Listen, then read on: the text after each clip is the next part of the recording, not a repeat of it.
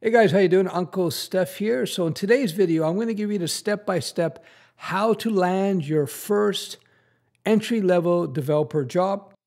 In 2025, with the advancement of AI and the slow restructuring of development jobs across the industry, things are changing just a little bit depending on where you're looking for your entry-level job. So the process that I've been teaching for years, it's still good today. 100%. And let's just jump into it. So, rule number one you have to learn the fundamentals.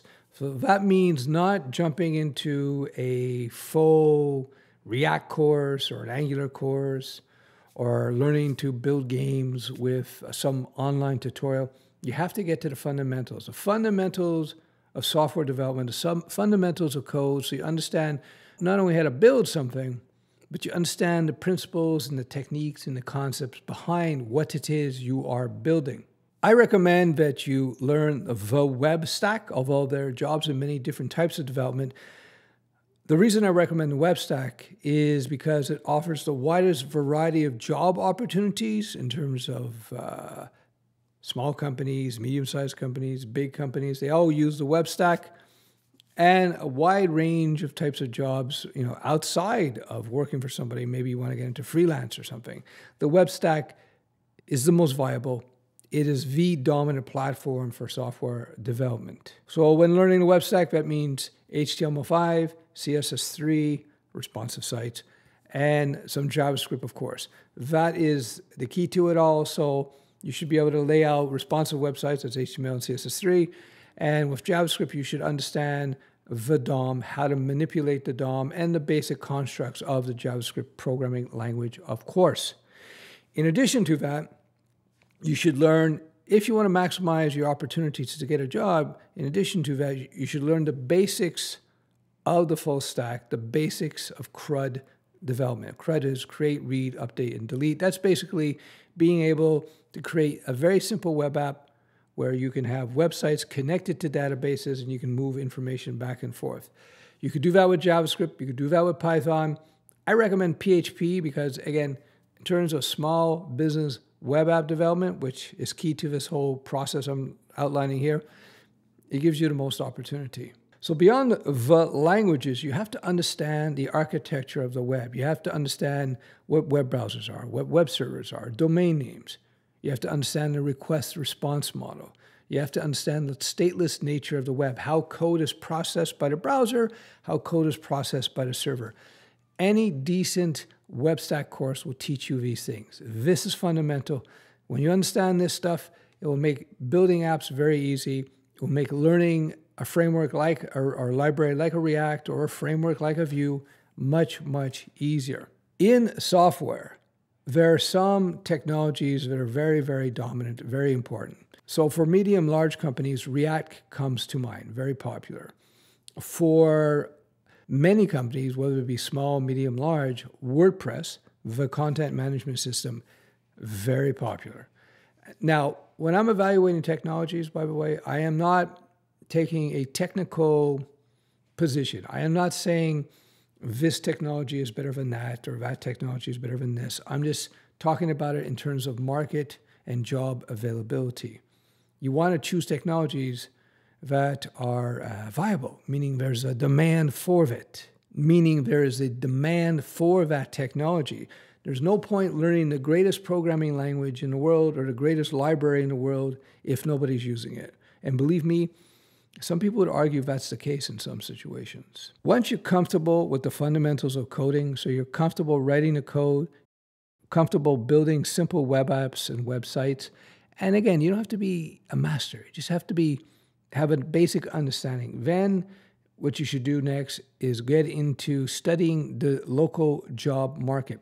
You're going to find that depending on where you live in the world, there will be different demands. Some areas C Sharp might be very popular. Some areas, PHP might be popular. There may be a lot of WordPress jobs where you happen to be. There may be a lot of uh, React jobs. Who knows? So, understanding the local job market, becoming familiar where the demand is, will help you a lot in terms of uh, getting that first job. So, the next thing you got to do is you got to uh, build two to three, two to three small, for free projects for some local business. Why? Because you want to get some real world experience under your belt. You want to understand gathering specifications, uh, dealing with people, delivering on something, even as simple as installing somebody's WordPress site, updating it, maybe helping them with their Shopify or Wix site. Doesn't really matter. Maybe doing some basic CRUD work. The point is, is just to get that experience working with people. It's huge. It's huge. This is analogous to somebody who never steps into to the ring as a fighter, who just hits the pads and heavy bags and maybe shadow boxes, versus somebody who gets in the ring and fights real. Tutorials, one or two tutorials is fine to get familiar with a few things, but you want to get into the ring building real things as soon as possible. So why two to three projects? Well, it's a good number because it won't take up too much of your time. Not huge projects, but you know, something. And it's kind of a nice number, two to three. Get a little bit of experience because A, you're going to build your XPs, your experience. You're going to build your confidence because you've worked with a few projects. You do it for free because it takes a lot of pressure off the process. It takes a lot of pressure off you because you're not charging. So you don't have to worry about uh, so much. When you charge, you have a lot more responsibility. When you don't charge, you don't have respons- You don't have too much responsibility, relatively speaking. And it takes a lot of risk as far as the person or the company you may be working with, the local small coffee shop, the local independent garage or something.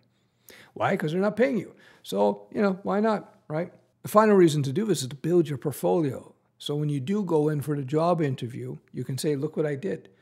I was built these projects for this company here and this company there that shows employers that you're able to deal with people, you're able to uh, interact with people, get things done. That's what they want to see.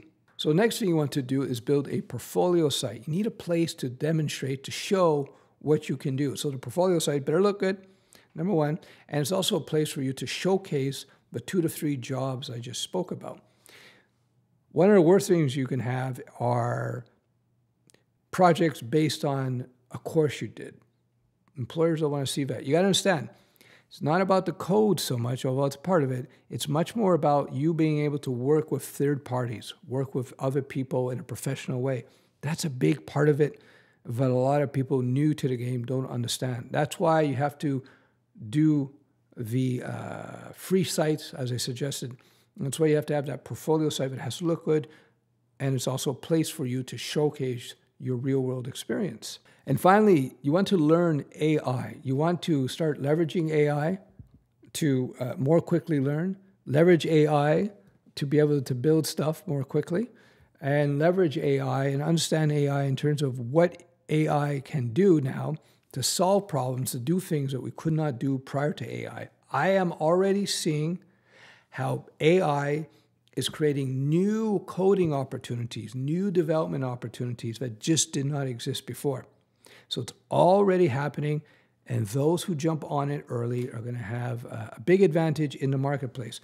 Already, I saw an article where some places, I think in China now, they look at people, when they look at people they're going to hire, no matter what, it's not just coding, but many other places, they want to see that the uh, person who they'll hire has some knowledge of AI and how to use it, how to integrate it into whatever profession they happen to be in. AI is an accelerator.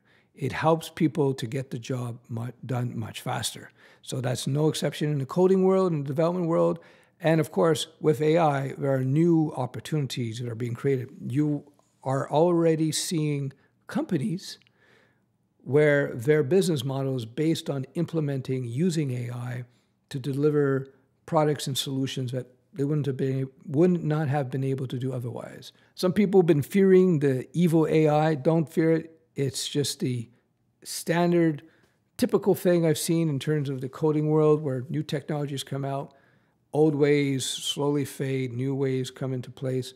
We're in that phase right now, and whenever you see this disruption that we're seeing now, this time it's caused by AI. It creates huge opportunities. So take advantage. I'm Uncle Stef. I teach people how to become professional developers, professional coders. I teach them how to start businesses, how to freelance, how to get jobs. You can check out my boot camps at unclestef.com. And yeah, learn from my 36 years experience. I'll save you decades. All right. Thanks for watching. Cheers.